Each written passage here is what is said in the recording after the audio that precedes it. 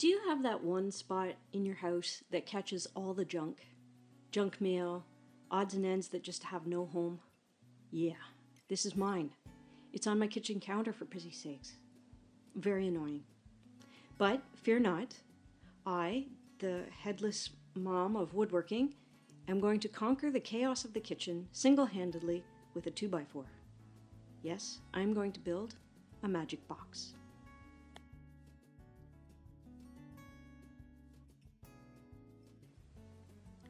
So, like I said, this is going to be a magic box. It's going to sit on my kitchen counter. It's going to magically grab things off the counter that don't belong on the counter and put them where they belong. If it belongs in this box, it's going to put it in the box. Okay, so I'm dreaming.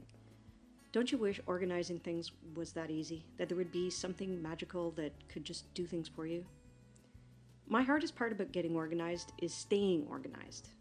I can find spots for everything, but then we all get lazy and don't put things away. So here you see me taking an old 2x4 that I had lying around the house, because I have 2x4s lying around the house. And I'm ripping it into quarter inch strips on my table saw.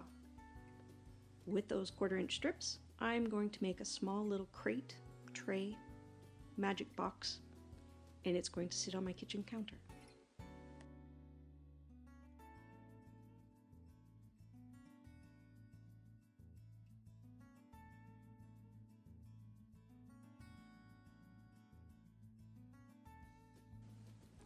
I got the idea for this project from Linn on the Darbin Orvar channel.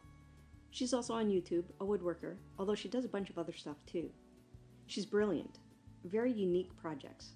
Check her out. I'll leave a link in my description for her YouTube channel too.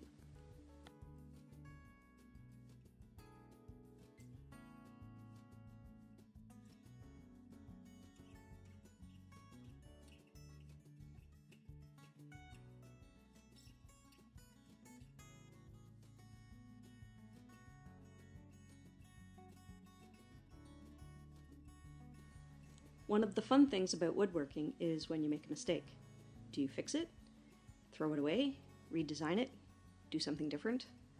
It takes some creativity, ingenuity, fast thinking on your feet. Okay, so here I put a nail through two strips of wood and the nail went right through. In a furious rage, okay, not really, I took the strips apart and decided just to glue them down. The tray isn't going to hold too much weight anyway, so I didn't think this was going to be a problem.